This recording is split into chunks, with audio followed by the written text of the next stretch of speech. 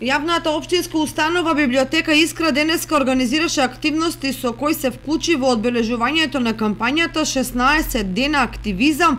против насилството врз жените и девојчињата. Дел од активностите беа поетско читање на кое настапија членови на литературниот клуб Копнеш и ученици од Средното општинско училиште Лјупчо Сантов, како и трибина со стручно излагање на психолог и социолог професор од Кочанската гимназија. Агендата кампањата 16 дена активност започнува на 25 ноември, а завршува на 10 декември, каде што во скоп на тие 16 дена е се содржат неколку меѓународни значни денови,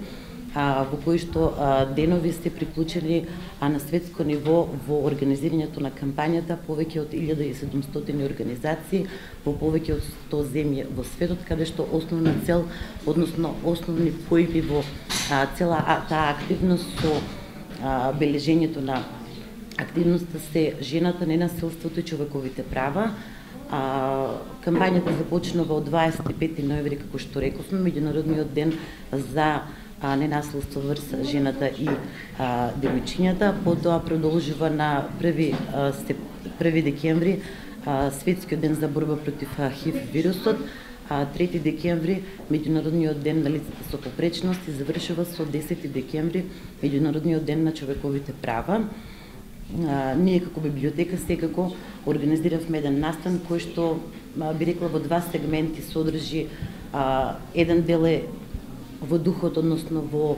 а, духот на библиотечната дејност. Сакаме да потенцираме преку библиотечната дејност, односно преку литературата, да ги а, валоризираме вредноста на жената, додека другиот дел е содржан од стручен дел, а, кој што ќе се одвива во вториот дел, така да а, денешната активност ќе започне со едно литературно и поетско читање, кое што го нарековме таа во поезијата, а преку што како библиотека сакаме да ги потенцираме валоризацијата и вредноста, односно а, целото вреднување на жената како лик, како фигура во различни обштествени прилики и периоди преку поетското творештво на наши а, значени поетски а, автори